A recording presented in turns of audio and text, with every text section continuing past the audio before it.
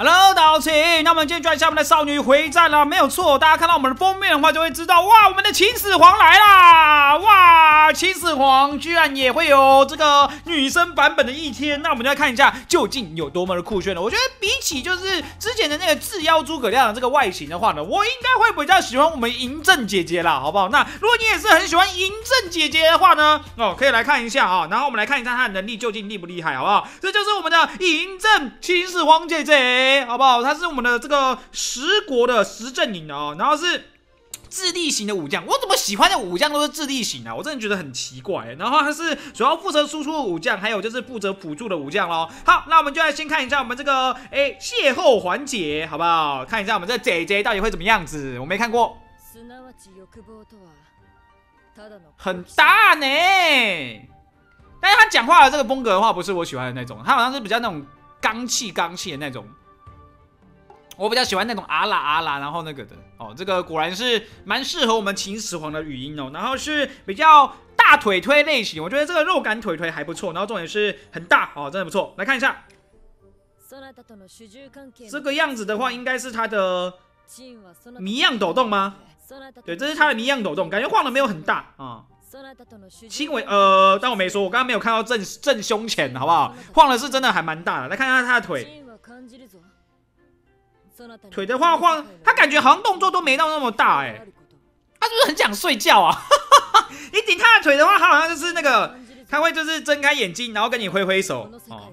这其实蛮有那种帝王霸气相的，因为嬴政就是我们的秦始皇嘛，秦始皇当然就是霸气霸气的，什么都不想管你的那种感觉。然后点腿的话，好像都是这个样子哦。点腿的话都是这个挥挥手，然后正准了啊，正准了，没问题。然后点手抽这边的话，跟点头一样，是那个是谜样抖动。好，来看一下点胸前的话呢。好，点胸前的话会把那个就是那个猪猪弄起来，然后变成一个那个。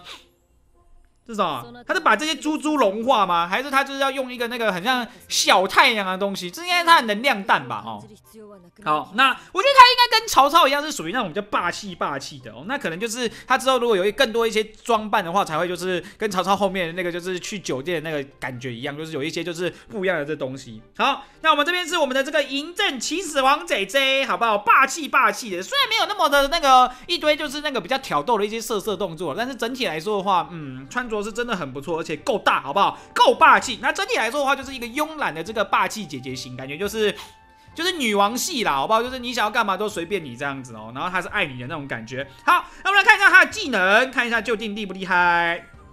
第一招是这个黄泉哦，普通攻击对随机一名敌人造成一百 percent 的法术伤害。然后第二招是这个八荒六合，其实秦始皇做了还蛮多一些，就是。呃，帮助整个那个国家就是统一做了蛮多一些就是措施，就比如说统一度量衡啊，或是文字之类的，其实还蛮厉害的。只是它有一些就是不好的一些东西，那些我们就。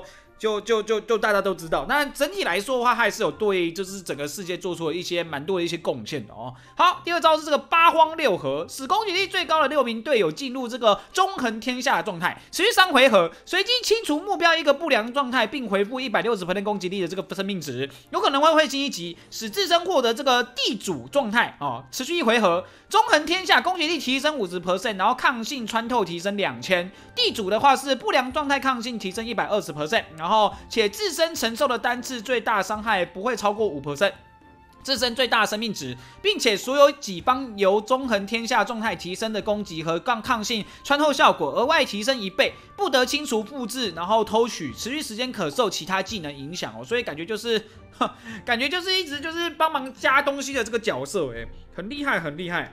好，再来是这个。法不于众哦，清除生命值百分比最低的这个六个敌方的一个强化效果，造成一千 percent 到三千 percent 的法术伤害。目标生命值百分比越高的话，伤害越高。如果攻击后目标生命值大于五十 percent 的话，则对目标增加这个一追加一千 percent 到三千 percent 的这个法术伤害。目标生命值百分比越低的话，提升的幅度越高。然后技能造成伤害时，会心一级提升提升几率是一百 percent。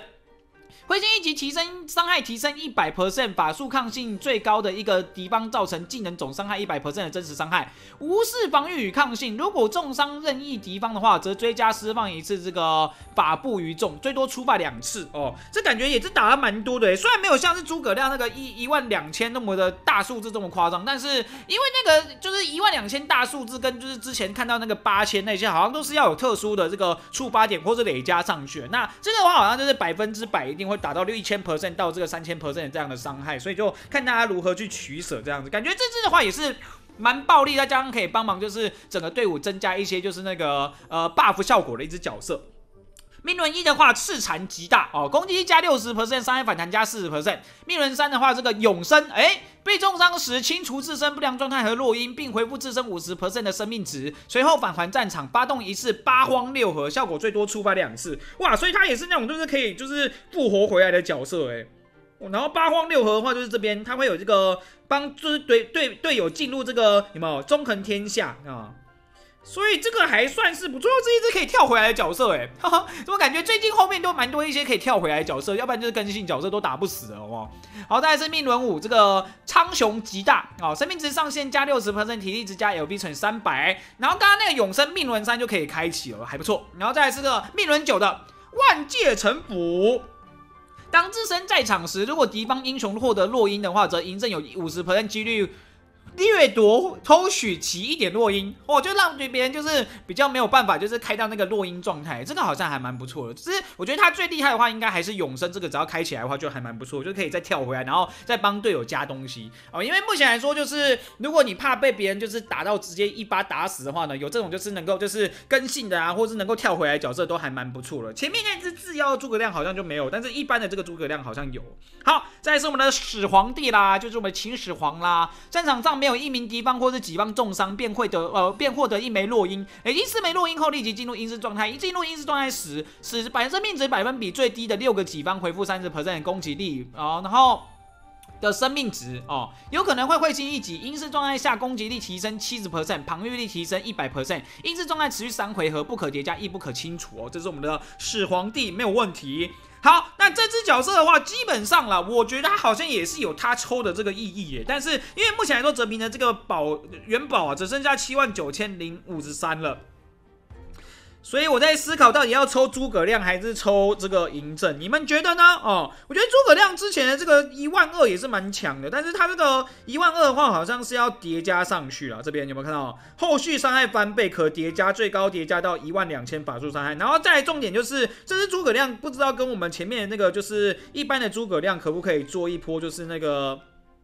交换就是我如果上了这只诸葛亮之后话，是不是就不能上那个智妖诸葛亮了？这个我是不知道的哦，所以就到时候再看。但我觉得这一次这个嬴政的这个效果的话，好像也还蛮不错的啦。就是打的话有打，然后能够辅助也是能够辅助的这种概念，我觉得就还蛮行的。所以就看大家觉得怎么样，到底要不要抽？那如果是选择抽看板娘的话呢，泽平会比较喜欢就是秦始皇啦，毕竟大嘛，对不对？但他比较没有那么多的一些就是那个。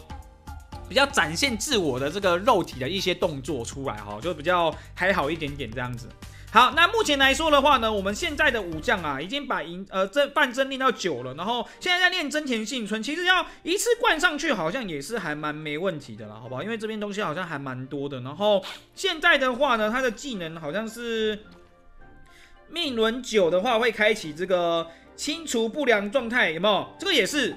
这个跟我们就是那个嬴政是一样的效果，有没有？被重伤时清除自身不良状态还落音，然后并恢复自身五十 percent 生命值，然后返还战场。所以它跟那个我们的那个嬴政的效果是差不多的这样子，只是它这边比较厉害的是这个，有没有？有一个那个。八千点的八千 percent 的这个后续伤害翻倍，可叠加最高造成八千 percent 的物理伤害，而跟我们那个就是诸葛亮差不多啊，好不好？所以就看大家要如何去抉择。那你们会觉得泽平要先抽嬴政呢，还是要抽我们这个智妖诸葛亮呢？都欢迎在下面留言跟你们分享一下哦。虽然我比较少在打一些就是里面的一些副本的东西哦，都通常都是在看眉，但是我基本上抽角色还是有在依据就是大家觉得蛮推的角色来去抽了。比如说范增那个时候大家还蛮推的，然后吕布大家也很推，然后。然后诸葛亮大家也很推，然后真田竞争大家也很推，然后最近又一大堆角色大家都超推的，所以就真的抽不完呢。其实因为这些角色都会返场啦，所以大家如果现在抽不到的话，也不用那么紧张，就是慢慢抽，慢慢累积下去就可以了。而且我们这边的话，月初跟月中啊，还是月中跟月末的时候都会有那个砸蛋活动哦，所以大家就不用紧张，砸一砸蛋，你应该又可以一尾活龙来抽一下我们这边的这个武将啦，好不好？好，那我们今天来介绍就是我们的始皇帝嬴政秦始皇了，那你们觉得他哎漂不漂亮呢？或者他厉不厉害呢？都可以分享一下你们对他的一些看法喽。那我视频再见喽，大家拜拜喽。thôi.